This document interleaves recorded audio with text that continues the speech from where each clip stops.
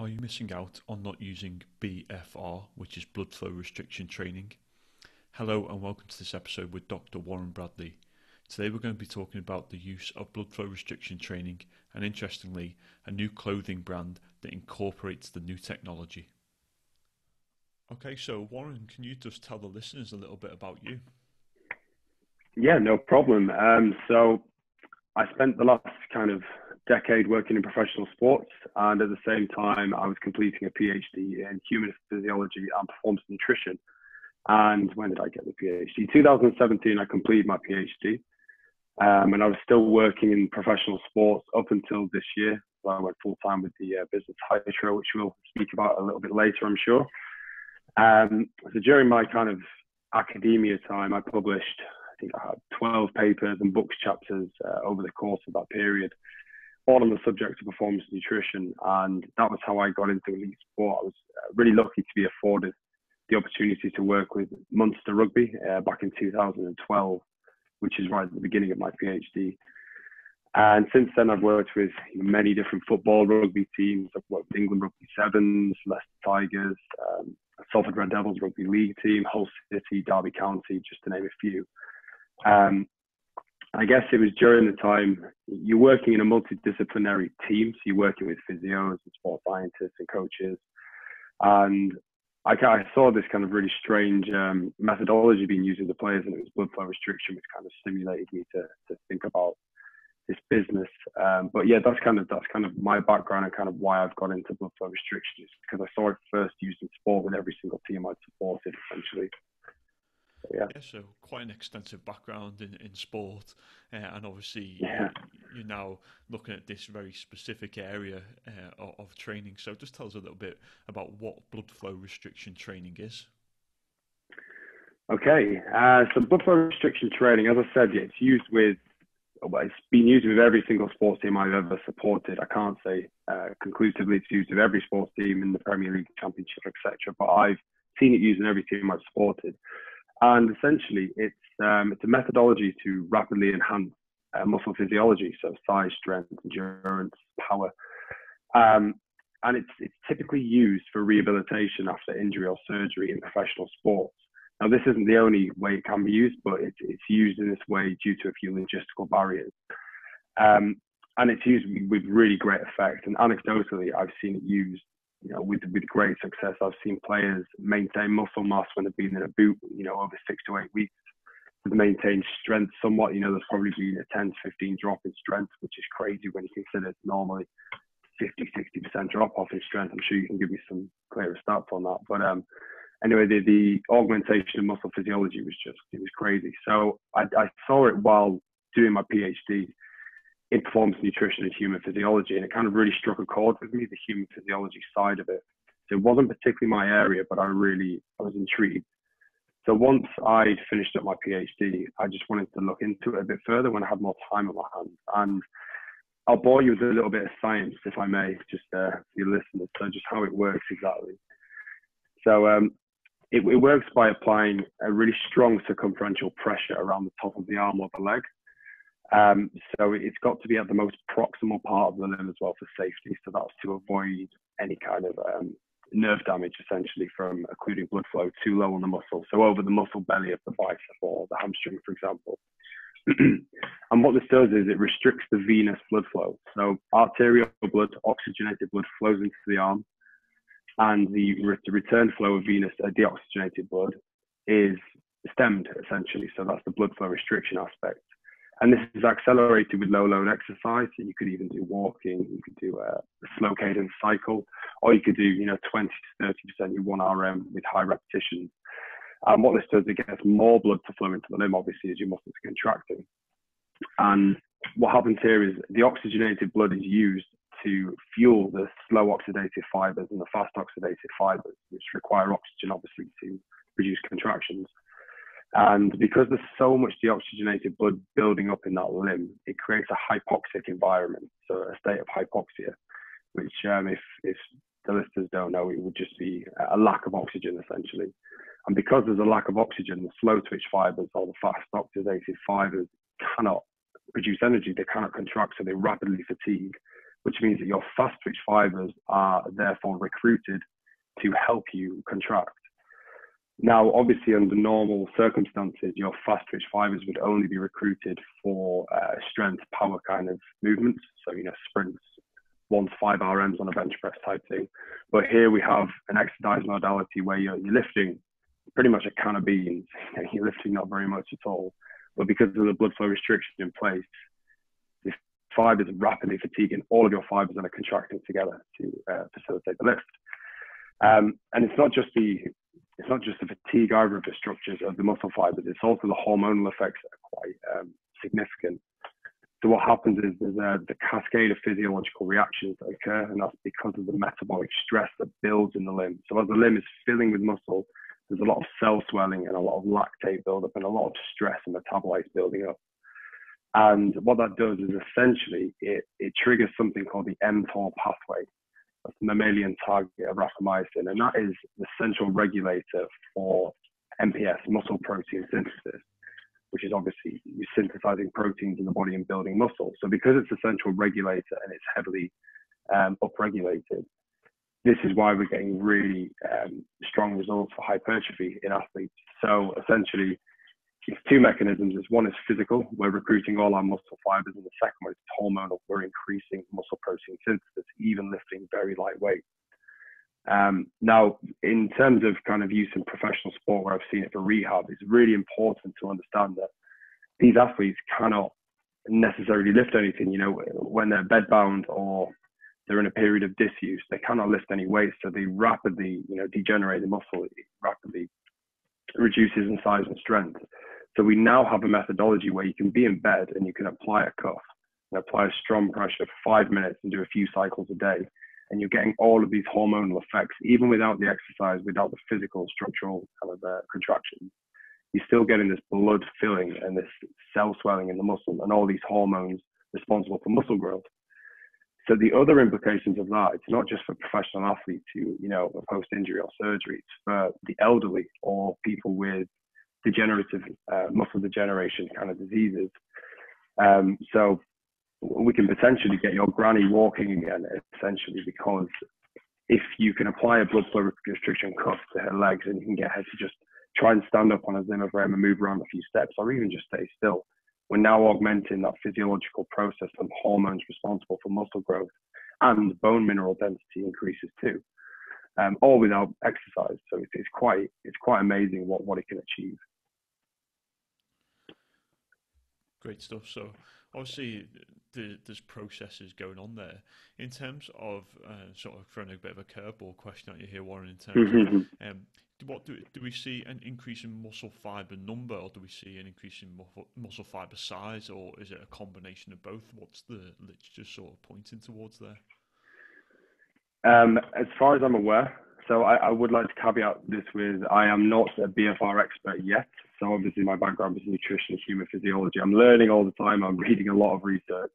And my understanding is it's the hypertrophy of the muscle fiber rather than increasing muscle fibers. That's my understanding, but please don't quote me on that. I would read the research uh, papers I've listed at the bottom of this uh, document for your students. yeah, definitely. We'll obviously put, put all the references from this uh, onto the show notes, so yeah. so people can go away and ha- have a little look at those and a further read because you've provided quite an extensive list of all the literature that is supporting this kind of kind of yeah. intervention. So, really, my next question is: as a practitioner, I just want to know: is it safe uh, for us to be using, and is there anything that we need to particularly do before we start using this kind of implementation? Yeah, absolutely. So um, blood flow restriction training has been around for a while now. It was known as Kaatsu training over in Japan, and it's been um, proven to be safe and effective by you know many many research papers. I think there's, there's over a thousand research papers on PubMed now showing its safety and efficacy. But there are some pretty important considerations that you have to look into, and the, the big one really is the specific placement of the tourniquet. It has to be at the most proximal point of the limb and that's to avoid nerve damage. And even if you applied a 10 out of 10, um, as tight as you could possibly, you know, achieve cuff or strap on that limb, well, firstly, you wouldn't be able to lift anything because it'd be very uncomfortable to the point it'd be pretty painful. So you would take them off. But secondly, it wouldn't cause any damage because it's in the right place.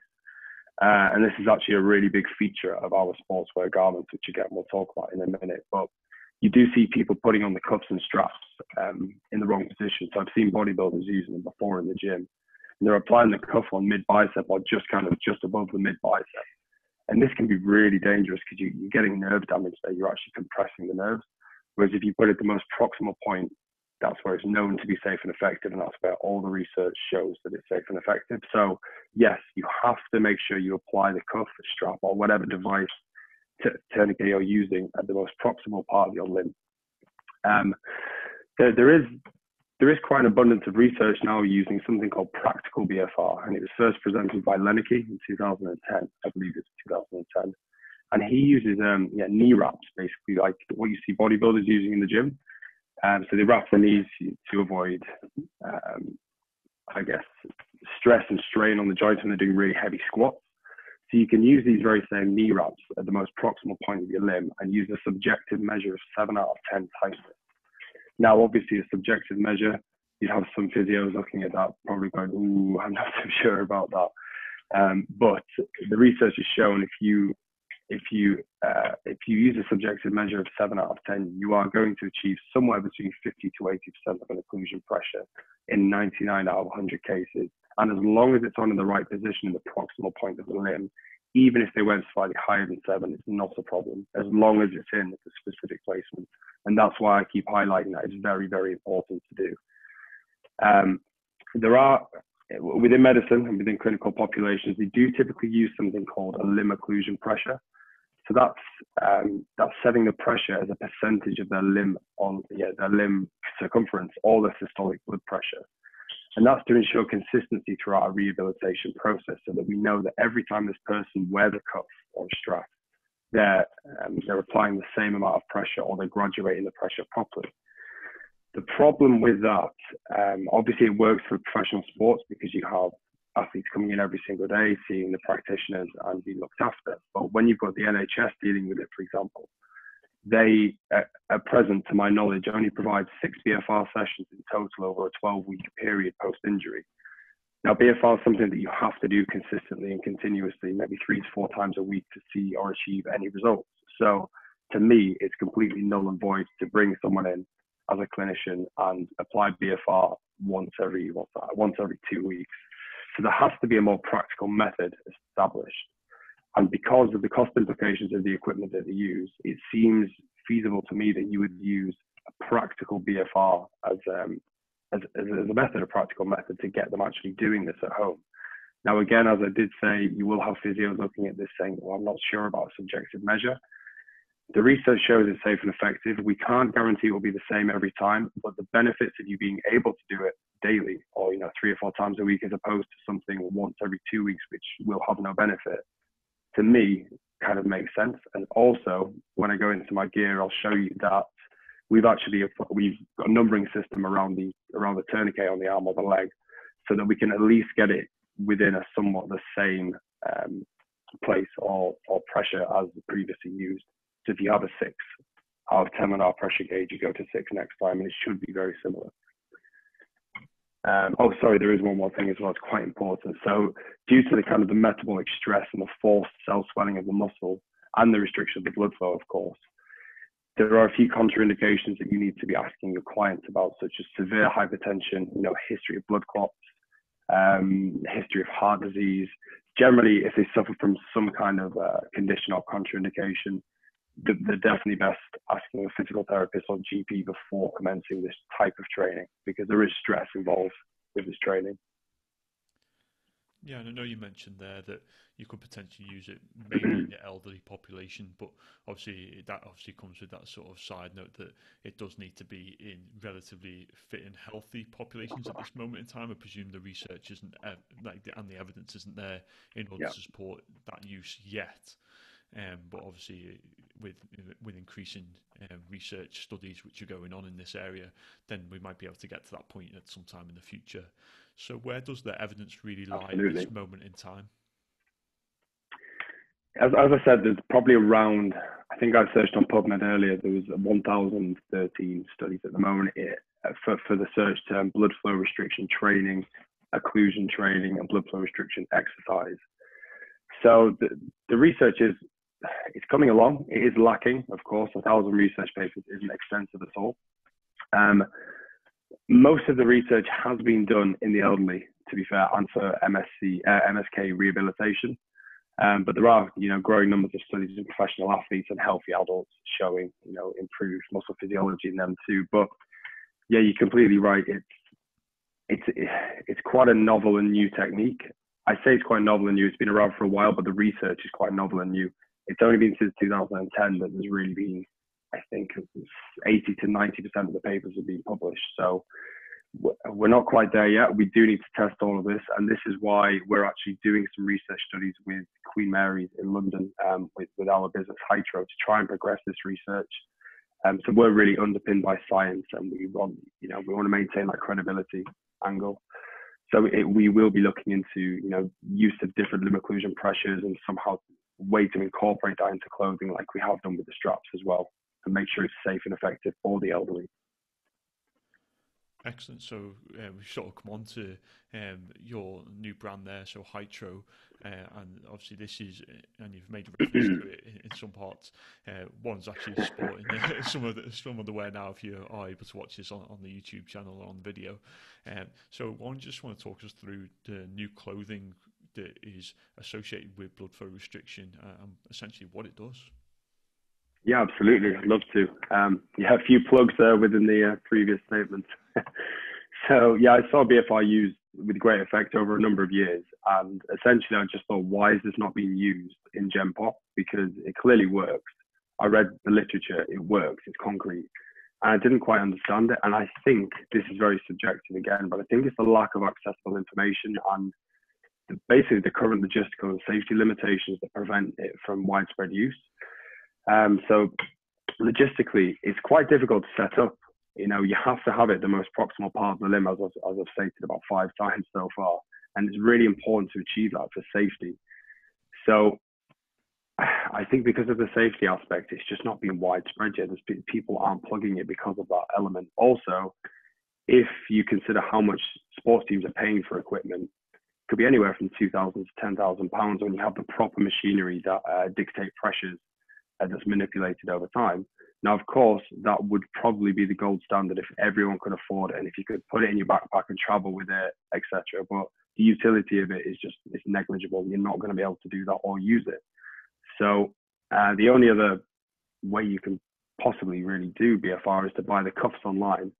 And the issues with the cuffs are they're, pretty poorly made, to be honest. The materials haven't been considered within the research. The strap width the bandwidth or the cuff width, whatever whatever the device is, haven't been considered in terms of the research as well. They're just kind of thrown together in a factory in China, uh, and also without kind of support and use, you're going to put them on the wrong place on your limb. As I said, bodybuilders have put them on the mid bicep or the mid thigh, and that's very very dangerous. So what I did was I basically thought, how do I make this safe and accessible for everyone? So I thought, okay, I boiled it down to its components. It's a tourniquet essentially that's applied to the correct place on the arm. So I just thought, well, if I incorporate it into clothing and I put it into shorts, leggings for women, and tops for men and men and women, we ensure that with every single use, because of the specific anatomical placement, it will be used safely and effectively every single time because it's in the correct place already. That, that circumvented that immediately, and that uh, that has a kind of few a few positives really. So when, when you talk about professional sports, they can only do one player at a time due to the machinery that they have, and that's why they only use it for rehabilitation. Now we have the potential of a product that you can use with a whole squad at the same time. It takes five seconds to deploy both arms. It is very, very quick. We know it's in the safe uh, and effective position. So this is something that they can now use to augment muscle physiology at the end of a session in otherwise healthy populations rather than just rehab. We can also do it game day plus one because there's no actual significant structural damage to the muscle tissue. It's mainly the hormones that are affected. We can actually we can actually manage to improve their recovery by using BFR on game day plus one. So what we can do is we can give them tops and shorts to take home and say, five minutes of BFR and you're done. Your recovery is done for the day. So it's a really effective way to enhance the recovery for an athlete as well. And obviously, then uh, if we talk about medical uh, medical use, we can now prescribe. You know, we can send people home with this. We can say, okay, you've had a leg break, you're going to be bedbound for two weeks or whatever. Go home with these shorts, pull them on, just apply the straps, get someone to help you. You don't need to move. You can get the benefits of the hormones. We can um, reduce the atrophy of the muscle. We can increase your bone mineral density if your bone's broken. Uh, and then after that, we can start to rehabilitate at home using only 20 to 30% 1RM, which means we're not loading the structures. So the structures are now realistically they're unaffected because we're lifting such light weights or just walking. It's stuff you'd be doing anyway for rehab, but we're also getting the benefits of the hormones released too. Um, and yeah, there's another there's another few things that we've kind of considered with the top as well. So not just the specific anatomical location, but we've provided the marking so that you can pretty much achieve a very similar occlusion each and every time. I cannot guarantee it will be exactly the same um, pressures applied, but it's going to be there or thereabouts. And also the material blends used for the strap and the specific strap widths have all been considered um, based on the scientific literature. So I've scoured the literature and looked at what the most optimal bandwidth would be for the arm and then for the leg. And it's slightly larger on the leg due to obviously a larger muscle bulk. Um, and this is important to understand because if it's too thin, if the strap is too, um, if it's not wide enough, the occlusion is going to hurt because the pressure is obviously applied over a smaller area. So you're going to probably be more likely to get some damage within the muscle fibers. However, if you do it too wide, it'll probably spread over the bicep or spread over the muscle too far, um, which again you'll need far too much pressure to be uh, to be applied to achieve that occlusion. So we, we've achieved a really optimal occlusion using specific bandwidth, specific materials, uh, and in the specific location. So everything is as safe as it can possibly be, essentially. And I would like to caveat this as well with the fact that we are working with the universities and some very well respected BFR experts to um, build a new device which for the medical markets which will include a device to uh, assess limb occlusion pressure within the clothing so we actually own the patent for uh, blood flow restriction or case, sorry, incorporated or integrated into clothing. We own it in the UK and we've got applications in for the rest of the world. Uh, so we're just waiting on them to come through now, but we do, we've already had it granted in the UK, which means now we can work on it exclusively with the researchers in London and bring to the medical market a limb occlusion pressure version of our gym wear garments coming down the line, which is really exciting. Super, because I know that obviously that you said that research informed practices is one of your, your key sort of values in terms of ensuring yeah. that uh, the clothing is sort of reaching that high research element and that that, that level of uh, what's the word um, probably trust from um, practitioners who are using it, but also the, the people who are using it um, and wearing those kind of garments. So that, that's obviously a, a a nice point to sort of finish on that that you are working on new things and obviously the, yeah, absolutely. you've got the the patents in for various different parts of the world, which is exciting. Um, where can we find out more about you, Warren, and about the Hytro itself? Yeah, so you can head to our website, which just launched last week. Um, so that's www.hytro.com. Um, there's also the Instagram page, so it's at Hytro underscore. And uh, shameless plug, you can also get my Instagram at Warren underscore Hytro as well. but yeah, the website I will be directing people to.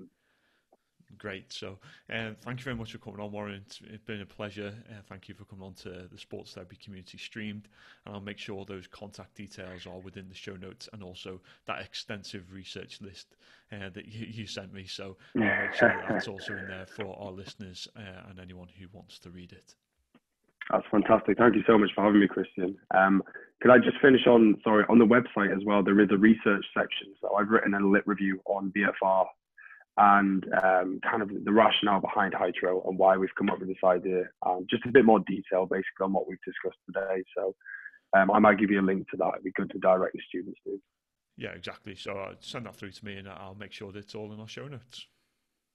Mate, that's amazing. Thanks so much for having me. No worries. Thank you much for your time.